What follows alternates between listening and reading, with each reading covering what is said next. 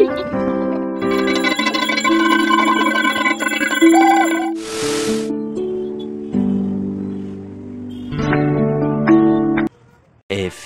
moments later.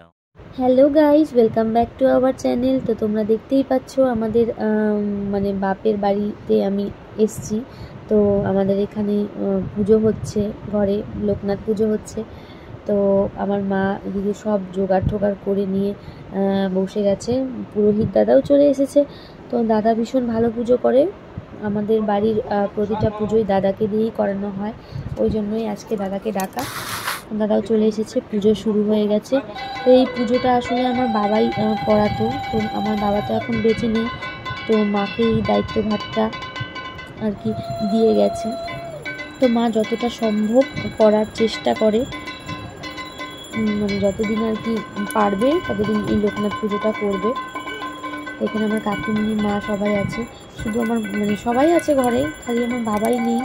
বাবার জন্য ভীষণ মন খারাপ করে আমার এই দিনটাতে। কারণ বাবা থাকলে নিজেই সব কিছু জোগাড় করে মানে নিয়ে আসতো। আর মানে কাউকে কোনো দিনও মানে বলতো না যে তুই এটা আন বা সেটা আন, নিজেই সব কিছু জোগাড় টোগাড় করে পুরোহিত দেখে পুজো করাতো। তো আজকের দিনটা বাবার জন্য ভীষণই মন খারাপ করে। তো আর কি আর করা? বাবা যেখানে থাকুক, ভালো থাকুক। হয়- হয়তো এখন দেখছি যে বাড়িতে পুজো হচ্ছে, এটাই আমার কাছে অনেক বড়। মা আর কাকিমণি এখানে অঞ্জলি দিচ্ছে। আমি এখন একটু মানে ঠাকুরকে পুজো দিয়ে নেব, কারণ সকালের দিকে দাদা চলে এসেছিল মানে পুজো করতে। তো সেই সময় আমি স্নান মানে আমার স্নানই হয়নি, কারণ আমি পাবলোকে নিয়েছিলাম। ওকে স্নান করালাম, খাওয়ালাম, তো আমার একটু লেট হয়ে গেছিল দেখে আমি সেই সময়টাতে অঞ্জলিটা দিতে পারিনি। ওই জন্য আমি এখন আর কি একটু পুজো করে নিচ্ছি।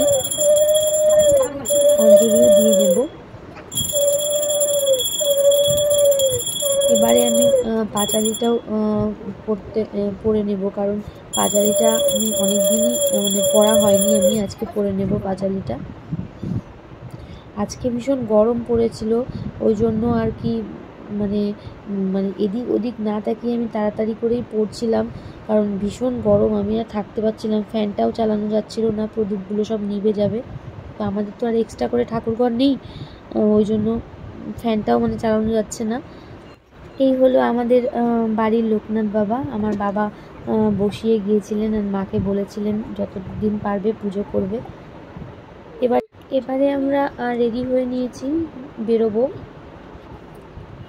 যাচ্ছি টোটো করে। টোটোতে উঠে পড়েছি। মা, আমি, বোন যাচ্ছি আর আমার ভাইয়ের বউ।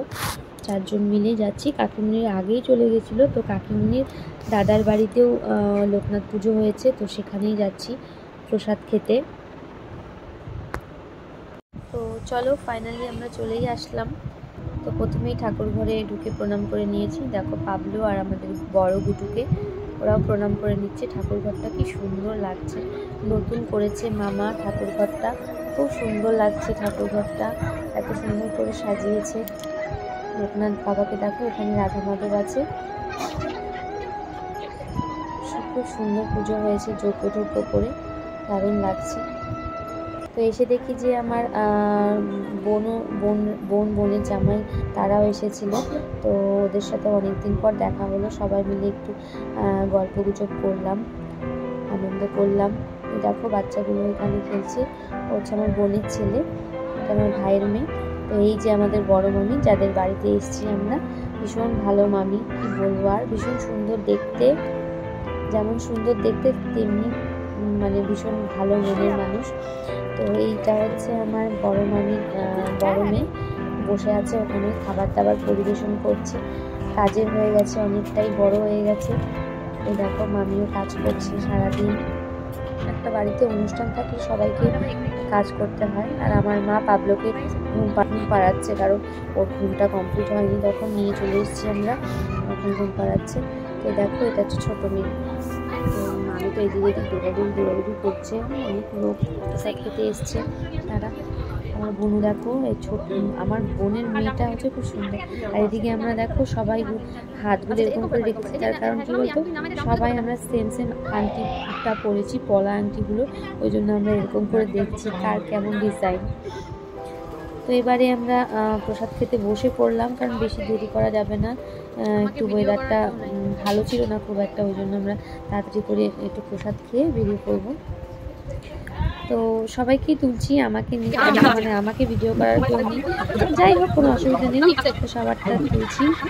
এই দেখো খাচ্ছে হঠাৎ করে মামার বাসায় গিয়ে এই বান্ধবীর সাথে আমার দেখা হলো। অনেক দিন পরে আর কি দেখা হলো। আমরা কলেজে একসাথেই পড়তাম। আমাদের সাথে। তো মানে জিজুরা চলে যাচ্ছে ওদের খাওয়া দাওয়া হয়ে গেছে তো ওরা আগে যাচ্ছে আমরা একটু বাদে বেরোবো।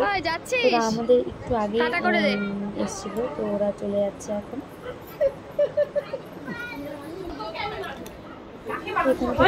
হচ্ছে আর এই দেখো সবাইকে ধরে ধরে মারছে এই দেখো কি অবস্থা? সবাইকে মারছে ও।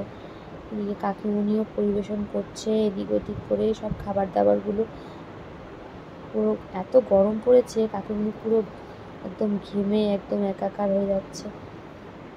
কাজ করছে সবাই একটু দৌড়াদৌড়ি করে।